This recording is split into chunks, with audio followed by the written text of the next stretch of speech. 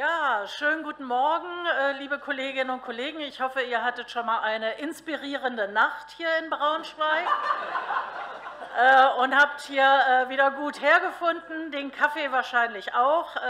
Das Wetter haben wir bestellt extra, also von daher und vom Programm her kann ja heute eigentlich nichts schiefgehen. Da gibt es ja ganz, ganz viele Anregungen. Ich will euch aber kurz ein paar Worte zu unserer Region hier sagen, weil ich habe mir jetzt neulich leider sagen lassen müssen, vom Braunschweig habe ich noch nie etwas gehört vorher. Ähm, äh, Buh, genau. So, und also äh, von daher, äh, ihr seid hier natürlich äh, im Herzen äh, unserer Republik. Äh, die, die IG Metall, äh, hier wurde gerade ja schon gesagt, hat hier drei Geschäftsstellen. Ähm, und alle drei Geschäftsstellen zusammen, also Wolfsburg, Salzgitter, Peine, Braunschweig, wir haben hier ungefähr 140.000 Mitglieder. Da sind wir auch sehr stolz drauf. Äh, das ist äh, sehr schön. Wir haben einen Organisationsgrad in vielen Betrieben, der äh, geht so von 97 Prozent, aber leider auch zu 1, 2, 3 Prozent runter. Also wir haben hier eine sehr, sehr große Spannbreite der Betriebe auch. Von den Branchen her habt ihr sicherlich schon gehört, äh, einen kleinen Automobilkonzern äh, hier ansässig, der auch Standorte in allen drei Geschäftsstellen hat. Äh, wir haben hier aber auch den Stahlbereich in Salzgitter, die sich auch gerade in der Tarifrunde befinden und wo ihr hier die schön Transparente bewundern könnt und deren, den Kollegen wir natürlich auch viel Erfolg wünschen bei der Durchsetzung.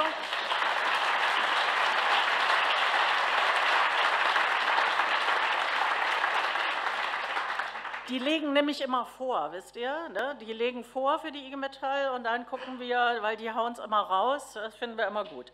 Okay, also Stahl.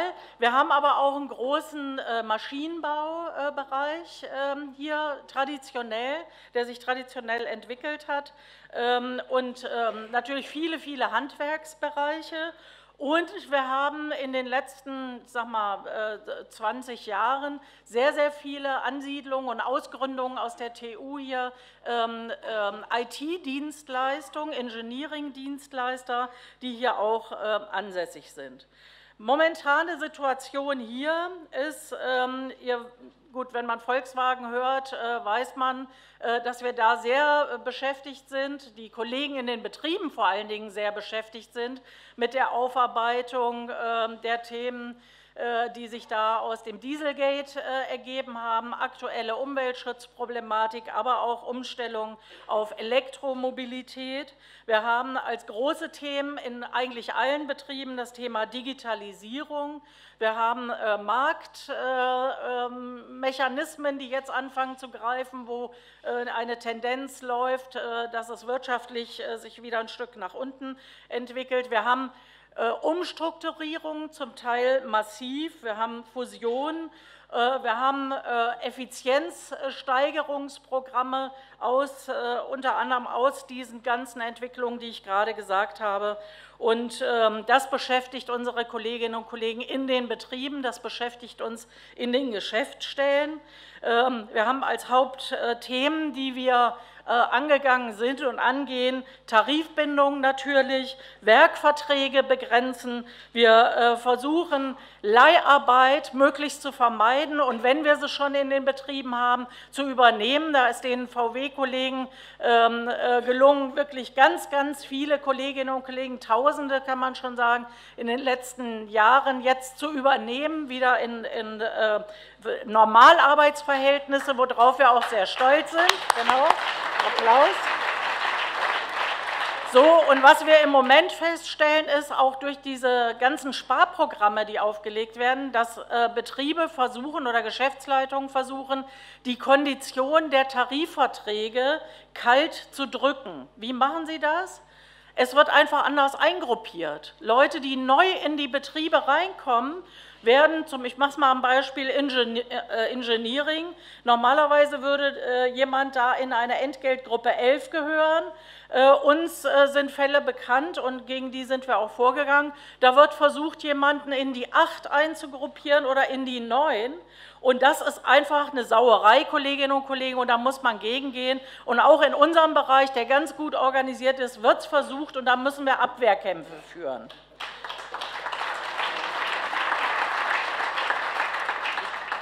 Wir sind natürlich sehr beschäftigt mit äh, äh, auch Themen ähm, äh, Leistungsbemessung, Leistungsbegrenzung, Personalbemessung, Transformation, eben aufgrund der beschriebenen technischen Themen, machen wir, spielt halt eine sehr, sehr große Rolle.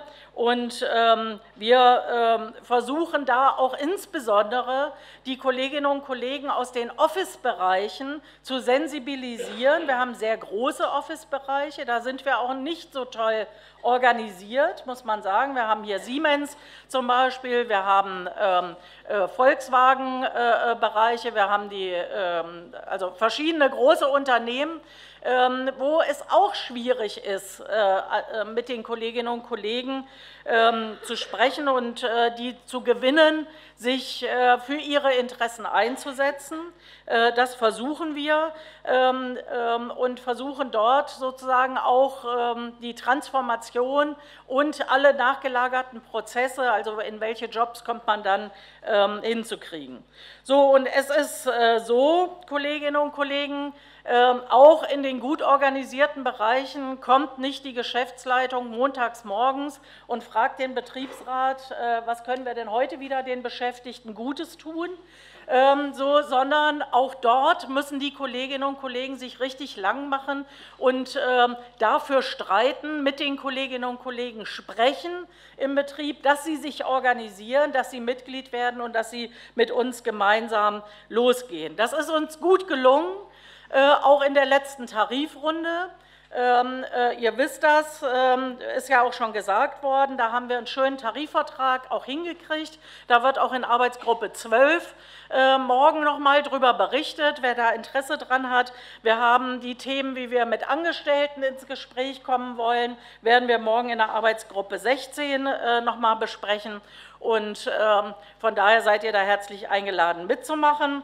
Äh, vielleicht noch ein Satz äh, zur Mitgliederentwicklung bei uns auch, weil uns allen geht es ja auch darum, die Leute zu gewinnen. Wir haben in den Geschäftsstellen im letzten Jahr über 4000 neue Mitglieder äh, gewinnen können, die sich uns angeschlossen haben. Das ist ein, wirklich ein sehr guter Erfolg und das war nicht nur Volkswagen, wo man immer meint, dass das mal so im Spaziergang ist. Erstens ist es nicht im Spaziergang, sondern die müssen sich auch lang machen, die Kollegen, aber es war auch im Maschinenbau, Stahl, Handwerk und so weiter. Ja, uns, unser oberstes Ziel ist natürlich, Arbeitsplätze zu sichern, Ausbildungsplätze zu sichern, weil die gehen jetzt auch gerade, die Zahlen zurück. Die Betriebe wollen keine mehr anbieten oder nicht mehr in dem Umfang. Wir wollen gute Arbeit, sicher und fair. Wir kooperieren hier sehr gut mit äh, den Gewerkschaften am Ort, mit Verdi, mit der GEW, ähm, äh, mit der NGG, also alle, äh, die wir hier sozusagen vor Ort haben, die da aktiv sind ähm, weil wir wissen, gemeinsam geht es besser und wir fordern auch die Politik hier vor Ort, auch bei der Politik ein, uns zu unterstützen, und zwar querbeet über alle Parteien und das, und das läuft überwiegend gut. Ja, wir freuen uns, ähm, diese Konferenz hier zu haben, haben uns äh, sehr gefreut, dass wir angesprochen worden sind. Wir freuen uns weiter auf intensive, produktive Diskussionen, interessante Anregungen, die wir hier gemeinsam kriegen können, wie wir noch besser und mit großer Beteiligung die Beschäftigten gewinnen können, die, dass die Digitalisierungsprofite und die Produktivitätsgewinne auch zu sozialen Gewinnen für uns alle werden. Von daher, Kolleginnen und Kollegen, Glück auf und einen guten Verlauf der Konferenz.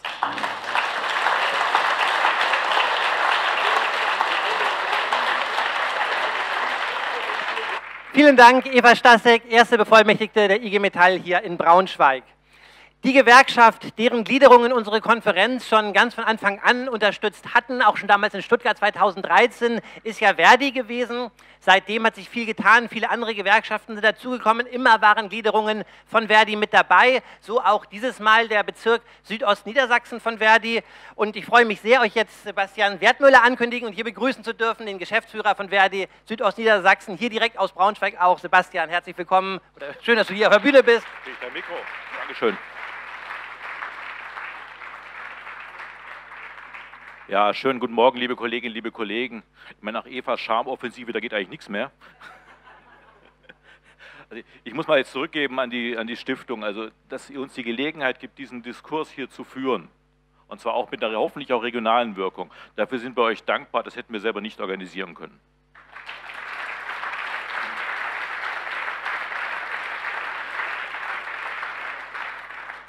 Ich werde jetzt ein bisschen davon absehen, äh, Verdi den Bezirk vorzustellen. Wir sind der, ich sage es mal ein bisschen despektierlich, der übliche Gemischtwarenladen, den Verdi aufmacht, ausmacht einem Callcenter bis zu den Krankenhäusern, vom öffentlichen Dienst bis zum Nahverkehr und so weiter und so weiter.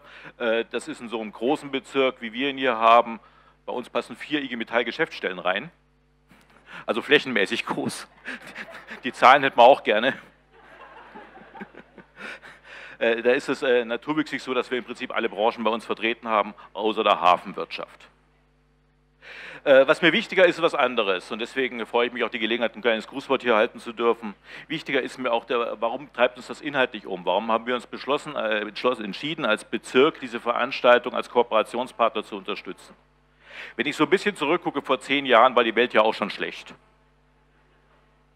was Kapitalismus angeht, was Arbeitsbedingungen angeht, was Personalabbau angeht, Stellenabbau und so weiter und so fort. Ja. Aber vor zehn Jahren, da kannten wir Nazis. Da kannten wir aber noch keine AfD. Da kannten wir Kameradschaften, aber da kannten wir keinen Rechtspopulismus in den Parlamenten. Vor zehn Jahren kannten wir keine Pegida. Vor zehn Jahren kannten wir keine FPÖ in einer Landesregierung, äh, Bundesregierung in Österreich. Wir kannten keinen Salvini. Und das ist mir das Wichtige, was unsere Konferenz zum heutigen Zeitpunkt ausmacht. Und das sind die äh, Wünsche und Hoffnungen und Erwartungen, die ich auch selber habe. Dass wir darüber sprechen, wo stehen wir heute. Und dass wir darüber sprechen und diskutieren, vielleicht auch streiten, aber zumindest diskutieren und uns austauschen. Was tragen wir als emanzipatorische Kräfte dieser Gesellschaft dazu bei, dass es so nicht weitergeht, wie es sich momentan entwickelt?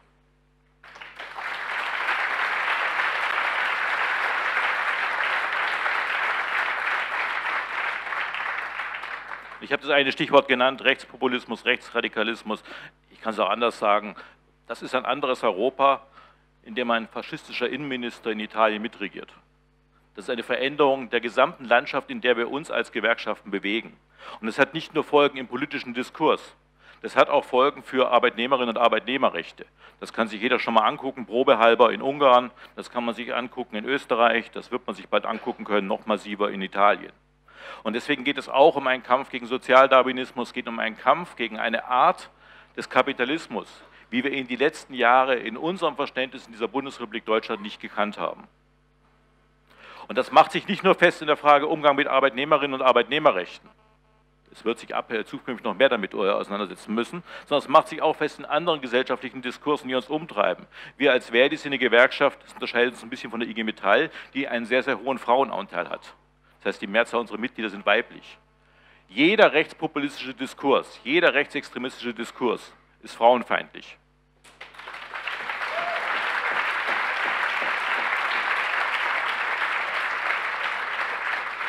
Und ich kann mir nicht vorstellen, dass eine erfolgreiche Betriebspolitik im Sinne von Gleichstellung, im Sinne von Aufwertung, im Sinne von Akzeptanz, zum Beispiel von Dienstleistungsberufen im Pflege- und Sozial- und Gesundheitsbereichen, dass es die geben kann mit einer Politik, die diese Art von Antigenderismus versucht zu äh, proklamieren.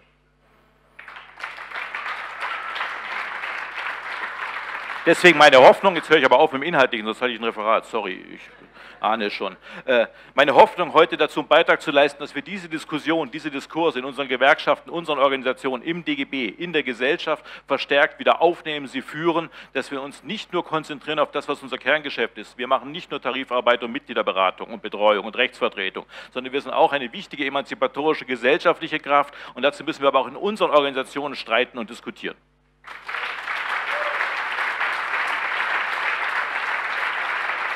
So, Und wie immer ist sowas auch sehr konkret. Deswegen erwähne ich es ausdrücklich als fast schon exemplarische Beispiele. Wir werden heute in den Arbeitsgruppenräumen Unterschriften sammeln. Solidaritätsunterschriften, ich nenne die, kann man wirklich exemplarisch nennen, weil sie eben gerade im Moment an uns herangetragen worden sind. Wir sammeln Unterschriften für den Kollegen Matthäus Meyer, Betriebsratsvorsitzender Lemförde Logistik, gekündigt. Sowas kommt vor.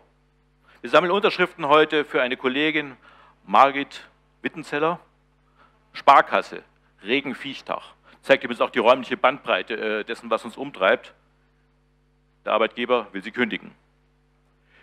Ich nenne das deswegen, weil die betrieblichen Auseinandersetzungen, die wir führen, das Einfordern selbstverständlicher Rechtsansprüche, nämlich betriebliche Interessensvertretung aktiv und offensiv zu, äh, zu, gestalten, wird von immer mehr Arbeitgebern bestritten.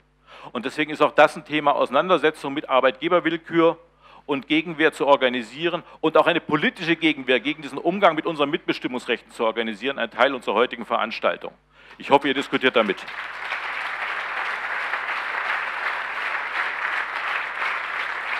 So, und neben dem Dankeschön an die Stiftung sage ich noch Dankeschön an alle Helferinnen und Helfer, an die Kolleginnen und Kollegen hier in der Uni, die das alles hier möglich machen. Das werden andere wahrscheinlich auch noch mal sagen. Ich sage es jetzt trotzdem. Danke.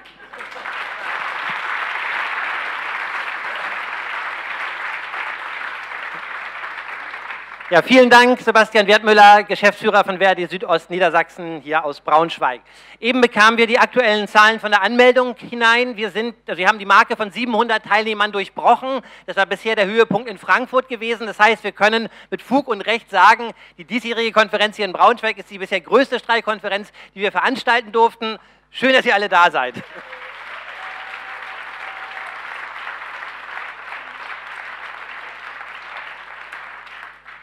Gleich noch eine gute Nachricht. Wir haben hier einen wirklich ganz tollen Konferenzfotografen. Und Konferenzfotografie ist eine Kunst für sich. Da muss man wirklich sagen, dass da am Ende hübsche und spannende Bilder rauskommen. Das ist der Nils Schmidt. Ihr seht ihn da hinten auch stehen an seinem Pult mit seinem Laptop und seiner Kamera. Wir haben uns das so gedacht, damit ihr die Fotos alle auch selber nutzen könnt für Twitter, Facebook, eure Freunde, Homepages, was auch immer. Ihr könnt sie alle hier unter diesem Link finden, abrufen und einfach äh, frei und fröhlich benutzen. Gerne auch den Hashtag Streikkonferenz verwenden. Genau, also da gibt es wunderbare Fotos. Neben Gliederungen von der IG Metall und Verdi waren dieses Mal auch der DGB aus der Region Südostniedersachsen mit unter den Kooperationspartnern. Da hatten wir gestern auch schon das Grußwort von Mehrdat. Des Weiteren auch die GEW hier aus Braunschweig und außerdem die NGG hier aus Südostniedersachsen. Auf der letzten Konferenz in Frankfurt war es uns eine große Ehre gewesen, mit Michaela Rosenberger erstmals überhaupt eine Gewerkschaftsvorsitzende auf einer Konferenz begrüßen zu dürfen.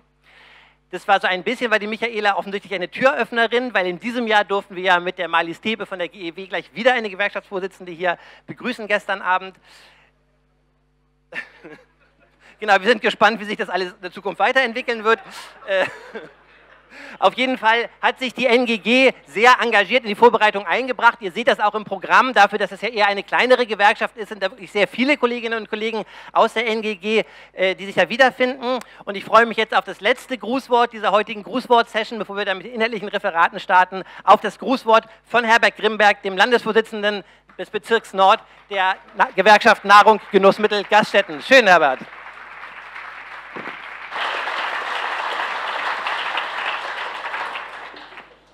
Ja, liebe Fanny, äh, lieber Florian, liebe Kolleginnen und Kollegen, Grußworte soll man so lange halten, wie man auf einem Bein stehen kann. Hier ist jetzt mein Problem heute, dass ich nur fünf Minuten was sagen darf. Das äh, schränkt das sehr ein.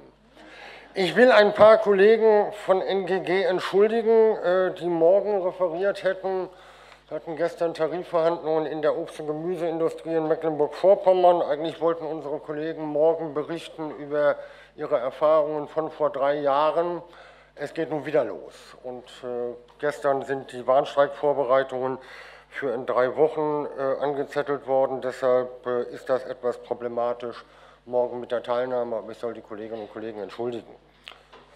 Aus unseren Kämpfen lernen, Streiks auswerten ist das Thema und das heißt, äh, es geht auch aus meiner Sichtweise um die Frage Demokratie und Streik. Und da gibt es ja unter anderem dieser Dauerkommentator in der Süddeutschen Zeitung, Bernd Rüters, der immer dieses Bild der gewerkschaftlichen Stabseliten zeichnet, die die Mitglieder aufhetzen äh, und in äh, völlig unsinnige Streiks treiben. Und äh, letztes Jahr ist Detlef Hensche, ehemaliger Vorsitzender der IG Medien, Druck und Papier. Ich sage das deshalb, weil in der Vorbereitung der Konferenz redet man ja mit Menschen und dann habe ich gesagt, na, ich will ein Zitat von Detlef Hensche bringen. Da haben mich einzelne Jüngere angeguckt und gesagt, wer ist das? Von daher muss ich erklären, äh, wer letztes Jahr 80 ähm, Jahre alt geworden ist.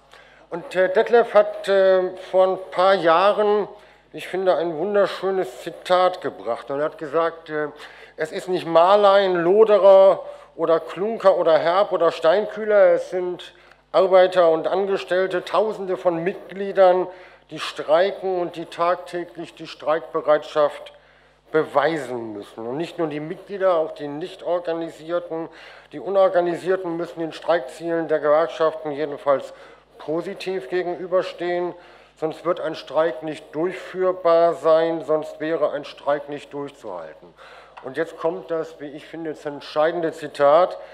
Es gibt nichts, Demokratisches als eine gemeinsame Arbeitsniederlegung von der Urabstimmung mit qualifizierter Mehrheit bis zur täglichen Abstimmung am Werkstor nicht in den Betrieb zu gehen.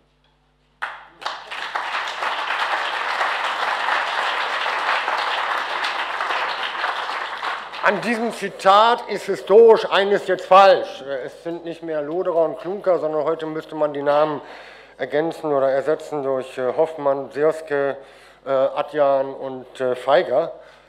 Aber natürlich ist die Frage, es gibt nichts Demokratischeres als einen Arbeitskampf.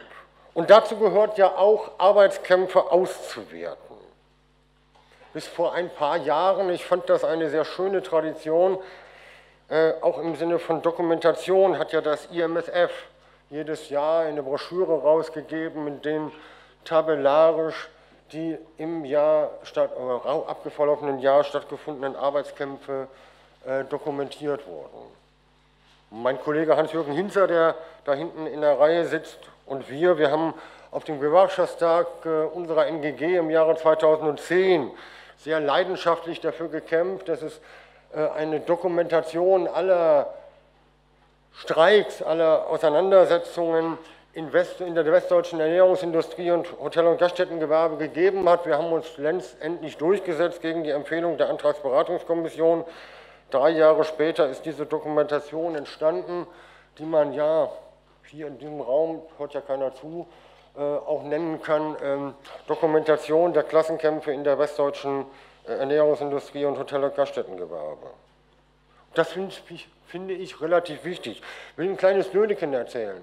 Äh, bei Wolfgang Däubler, als er noch äh, Prof in Bremen war, war in seinem Büro, hing an einer Pinnwand die Kopie einer Dokumentation eines der ersten Arbeitskämpfe, die unsere Gewerkschaft NGG gemacht hat. Und die war überschrieben, da no, müsse man halt Streiker, also baden-württembergisch, glaube ich, muss übersetzen, aber äh, das war für ihn auch ganz bedeutsam, das da zu haben.